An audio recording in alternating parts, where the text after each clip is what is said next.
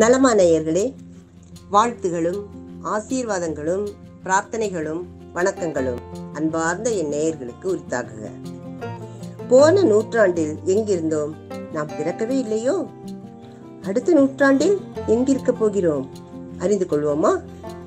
இந்த நூற்றாண்டில் இந்த தருணத்தில் ரிலாக்ஸ் ரேடியோவின் குரலாக இன்று உங்களை சந்தித்ததை நிச்சயம் அடுத்த நூற்றாண்டில் நினைத்து பார்ப்போம் அல்லவா? முதலில் இந்த நூற்றாண்டில் நமக்கு கொடுக்கப்பட்டிருப்பது என்ன என்று நமது பரிசுகளை காலக்கணக்கேட்டில் பார்ப்போமே. பரமஹம்ச யோகானந்தர் தமது சுயசரிதையில் இவ்வாறு எழுதியுள்ளார். அதாவது இந்த உலகில் இருந்து நாம் எடுத்து பயன்படுத்தும் பொருட்களுக்கு நம் உடல் என்னும் அருள் ஆலயம் ஆன்மாவை தங்க வைக்க தூய்மையாய் இருக்குமானால் இந்த பிரபஞ்சத்தில் இருக்கும் அனைத்து அணு துகள்களும் நமக்கு வேண்டியதை கொண்டு வந்து சேர்க்கும் கருவியாக இருக்குமாம்.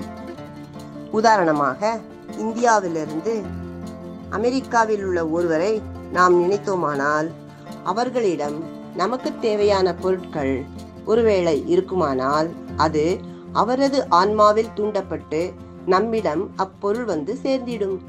அதேபோல் யாருக்காவது உடல்நிலை சரியில்லையானால் இங்கிருந்து பிரார்த்தித்து நேர்ந்து கொண்டால் அவருக்கு அங்கு சரியாகிவிடும். மகா பேரான்மா பாபர் ஒரு முறை தன் மகன் ஹுமாயூனுக்கு உடல்நிலை உயிருக்கு ஆபத்தாக இருந்ததாம். உடனே பாபர் அவர் கட்டில் அருகில் மண்டியிட்டு இறைவனிடம் என் மகன் ஹுமாயூன் மீதுள்ள கொடும் நோயை எனக்கு மாற்றிவிடுங்கள். என் மகன் பிழைக்கட்டும் நான் இறக்கட்டும் என்றார். அதன்படி அந்த கணமே மரண நிலையிலிருந்த ஹுமாயூன் படுக்கையிலிருந்து பிழைத்து எழுந்து கொண்டான். பாபர் நோயுற்று இறந்து போனார். ஆன்ம சக்தி அவ்வளவு வலிமை வாய்ந்தது.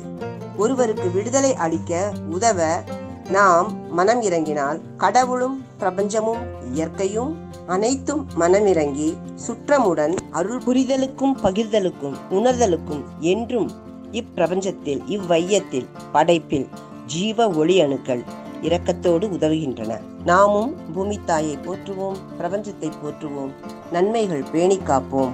உதவி பெற்று உயிர்த்துணர்ந்து பரம திருப்தியோடு நன்றாக வாழுவோம்.